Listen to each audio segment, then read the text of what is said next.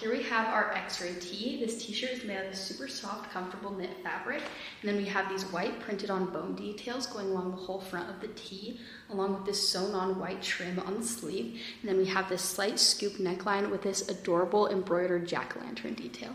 This is perfect for matching our x-ray dress.